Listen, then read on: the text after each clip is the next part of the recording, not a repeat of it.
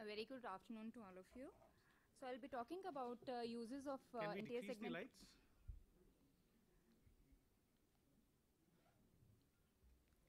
I'll be talking about the uses of uh, anterior segment OCT in our day-to-day cornea and refractive practice. But before that, just a brief about the existing ASOCT systems. Currently, we have two types of systems, one dedicated anterior segment OCT systems and the other ones that are converted from retinal scanners. The dedicated systems use the wavelength of 1310 nanometers and provide us with wider and deeper scans as compared to the systems converted from retinal scanners that use the wavelength of 830 nanometers and provide us with shorter scans but with much higher resolution. And this is the uh, scan taken um, by RTVue OCT and this is the Visante scan. You can see the extent uh, and uh, resolution of the scans. Now we need to use add-on lenses uh, for imaging the anterior segment with OCT devices uh, designed primarily for the retina uh, imaging.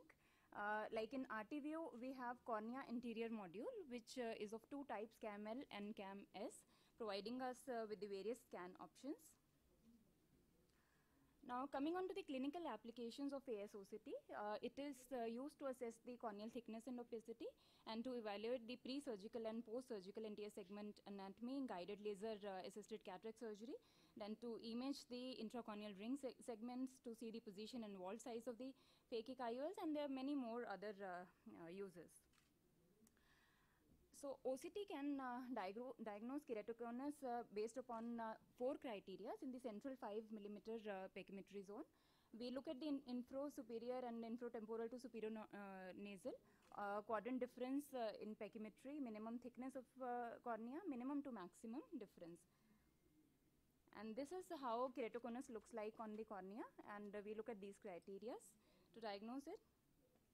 Epithelial mapping is a newer concept. Uh, it is based upon the observation that uh, the epithelium gets remodeled in uh, response to the underlying stromal irregularities, becoming thicker in the area of, uh, or of uh, valleys and becoming thinner uh, in the area of peaks. So we look at the central and the regional epithelial thickness profile differences. It is uh, a very important tool uh, mm, uh, for the screening of the early keratoconus, PMCD, and early detection of corneal ectasia. Now, even before the epithelial changes, there we can see the disintegration of Bowman's membrane on ASOCT, which appears as a localized uh, inferior thinning. Now, this is how we see the demarcation line uh, post uh, uh, corneal collagen uh, cross-linking. It is a direct uh, clinical sign, and the depth of the uh, demarcation line is uh, related to the uh, effectiveness of the treatment. Uh, so this is again very useful indication of OSOCT, ASOCT. And uh, high resolution OCT can image intacs very well. We, you can know, uh, know the position and depth of the intacs. Now, in refractive practice, we need to know ensure the safety and accuracy of the flap uh, creation. It is important to know whether the laser or the uh, microkeratome uh, created flaps are of desired thickness and uniformity or not. So, ASOCT can give us uh, a reliable measurement of flap along the entire extent. It also provides us uh, very useful information regarding the morphology of the flap. Like we can see, the femto-created flaps are more uniform and planar as compared to the microkeratome-created flaps that are uh, meniscus uh, shape and thicker in the uh, periphery. Now, in surgical management of the corneal scar, uh, uh, OCT has very important role because we need to know the extent and depth of the scar. Uh, if the scars are superficial, we can just peel off the scars. If they are uh, deeper in extent, then we can do transepithelial ablation. For example, this, is, this was a case uh, who came to us with dense uh, corneal scar almost in the central area. This patient uh, underwent uh, microkeratome assisted uh, LASIK surgery elsewhere and the best corrected vision was 6 by 9 but still the patient was very unhappy because of the glare associated with this scaric. Refraction was minus 2 spherical with minus 1 cylinder so he wanted uh, uh, the treatment for this. So before taking up for the treatment we did, did ASOCT as you can see that the scar is quite dense and it, the measurement of the depth was 186 microns. It was involving flap as well as the anterior stroma. But we had sufficient residual stromal thickness of around 470 microns. So we proceeded with the amputation of the flap, removing the scar area, and, uh, and you can see this is one month post-op picture. There is minimal scarring. There's a lot of improvement of in the visual symptoms of the patient, and uh, we can still do PRK, but patient is satisfied uh, uh, at this point of uh, time and doesn't want any other surgery. So for LASIK enhancements, again, there is very important role.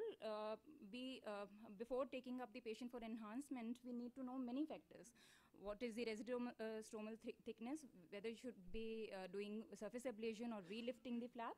So with AS ASOCT, we can visualize the flap even after years of uh, refractive surgery. Like for example, uh, this patient had minus 1.75 dispherical refractive error. This is very, very minimal power, but uh, it, this can be treated either by relifting the flap or we can do PRK. So when we did anterior segment OCT, we can see that the residual stromal bed is around 265 microns. Generally, we want it around 280 to 300 microns before uh, proceeding for relifting. So this patient, we did just surface ablation. This is a case of epithelial ingrowth post LASIK surgery. So you can see this whitish uh, patch in which is underlying uh, the flap area at the border of the flap. And uh, now for this patient, whether we need to observe the patient or we need to remove the epithelial ingrowth, again comes the role of ASOCT. So this is the anterior segment OCT image of the same patient showing that the extent of the uh, epithelial cyst is around 2.6 millimeter and there is significant thinning of the epithelium overlying the flap. So in the periphery, the flap thickness is around 120 microns, and in the area of uh, epithelial cyst, it decreased to 90 microns. So in this patient, we just proceeded with the uh, surgical removal of the epithelial ingrowth, and patient is doing fine. Now for corneal surgeon, ASOCT has become very important tool to know the health of the DSAEK, uh, that is Descemet membranes, automated endothelial keratoplasty graft. We can know the position, attachment of the graft to recipient, quality of the interface, and corneal thickness. So this is the OCT scan taken one week after the DSAEK procedure, showing a ni- nice attachment of the graft uh, along the whole extent. While this was not uh, this um, similar case, this patient had DSAEK surgery, and next day post-op, there was a lot of corneal edema, and it was difficult to assess what what was happening to graft. So ASOCT clearly shows that there is uh, uh, detachment of the graft along the whole extent. So we immediately took up the patient for rebubbling, and the next day patient graft is very well attached, and the cornea cleared up. Again, almost 14% of the DM detachments post surgeries are not able to be assessed on slit lamp examination. We need ASOCT for that. This patient has, um, the reason is that this dense corneal edema. Now, this patient has dense corneal edema, and we were not sure uh, what was happening, though uh, there was uh, this thing in, on the back of the mind that there is DM detachment. But ASOCT confirmed that there was a large DM detachment. We put the air bubble inside the AC, and next day, the cornea was clear and uh, Descemet membrane attached very well. And the more uh, uh, recent, uh, uh, most recent advancement in the refractive surgery, cataract refractive surgery is the development of femtosecond laser. Most of these systems have real-time OCT integrated in it, so it gives a very high resolution image of the whole of the anterior se- segment till the posterior capsule. We can even uh, uh, assess the morphology of the uh, corneal incisions. Like with femtosecond laser, we we get more biplanar incisions. This, these are the incisions created with the microkeratome, where we have endothelial misalignment and a little bit of Descemet membrane detachment. Though these things heal with time. Now, uh, other uh, important use here is in cases of posterior polar cataract, where intraoperative high resolution OCT gives us the image of the posterior uh, capsular defect, if any.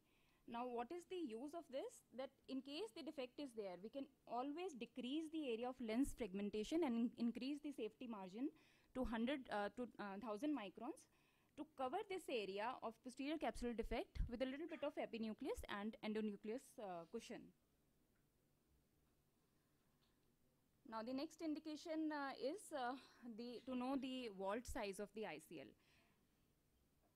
So what is vault? It is the uh, mm, distance between the posterior surface of the ICL and the anterior surface of normal crystalline lens.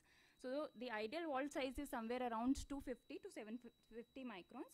This is the image showing low vault of 244 mi mm, uh, microns predisposing this patient uh, for cataract formation. There are many more other uh, applications uh, like IOL power calculation after LASIK tear film meniscus measurements.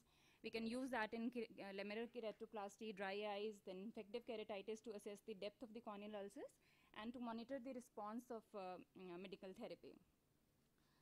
So to conclude, ASOCT is a very powerful innovative tool for the assessment of the cornea and uh, further uh, uh, improvement uh, in technologies like ultra high resolution OCT or intraoperative uh, OCT uh, is definitely going to improve our ability to diagnose and treat corneal disorders. Thank you.